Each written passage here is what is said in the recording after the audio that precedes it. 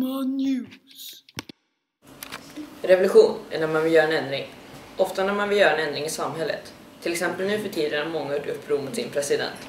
Men en av de mest kända var upproret mot Gaddafi i Libyen. Muammar Gaddafi, diktatorn som styrt Libyen över 40 år, sköts till döds när han hittades i ett rör. Folket gjorde uppror mot hans enmannavälde, för de hade tröttnat på hans styrande. Vi har snackat med Obama om vad han tycker om händelsen med Gaddafi. Och han sa så här. It was bad that he had to die, even if he was a bad person. I don't want anyone to die, but it was good for Libya that he deposited, but it will take a long time before the country will be recovered. Thank you Obama. Och nu till nästa huvudämne. Vakt. Vi har tagit hit en av personerna som var med och dödade Gaddafi. Här har vi han, så får vi se vad han har att säga. Då har vi Mr Ahmed här. Han eh, ska prata om vad som hände när de hittade Gaddafi i röret. Välkommen in. Ja Allah. Det här är hans tolk som ska översätta vad som sägs under samtalet. Hur kändes det när ni hittade Gaddafi i röret?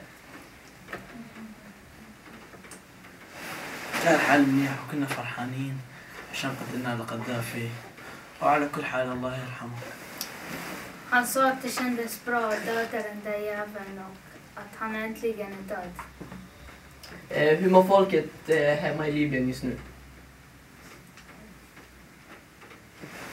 آه، الكثير فرحانين والأغلبية فرحانين بس في ناس زعلانين عشان كانوا بيحبوا له قذافي بس الأكثرية فرحانين De flesta är glada men det finns några som är ledsna och sura för att de gillade Gaddafi.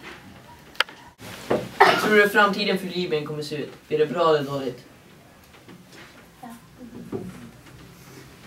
بالسنوات القادمة يعني تقريبا ل 20 سنة راح يكون الحال مو منيح وال يعني الأحوال راح تكون مو منيحة والبلد يحتاج له تعمير جديد والناس ما راح تفرح كثير عشان يعني الحكومة يحتاج لها تغيير Det kommer vara ganska dåligt första tio åren men sen blir det bättre och bättre för det behövs mycket jobb och alla människor måste bli glada.